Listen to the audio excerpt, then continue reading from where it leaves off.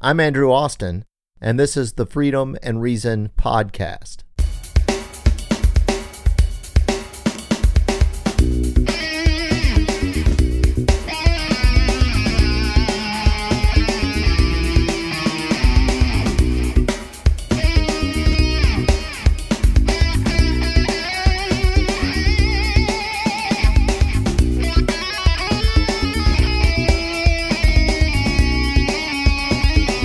As you wring out more efficiency in labor, as you make them work more productively and generate more surplus, as you increase that amount, uh, you let workers go.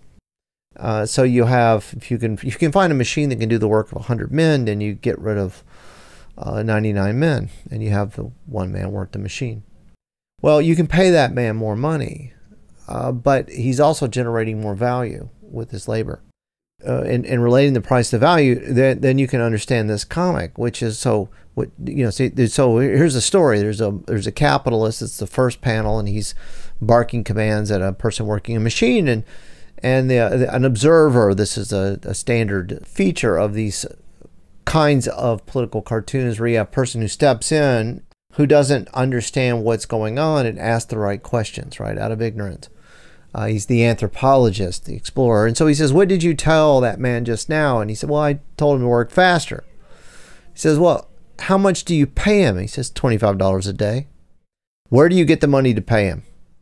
I sell products. Who makes the products? He does. How many products does he make in one day? And the capitalist answers $100 worth then instead of you paying him, he's paying you $75 a day to tell him to work faster. The capitalist is like, huh? Like, like he's such a part of the machine, he doesn't even know, he doesn't even realize, you know, that he's the, the, the, the, the, uh, the contradiction there. I mean, if you believe that, you know, people should get the full value of, of their labor, as John Locke did. But the machines belong to me, he answers, you know, after a pause or a startle. And, and how did you get the machines? Well, I sold products and bought them. And who made those products? Shut up, he might hear you.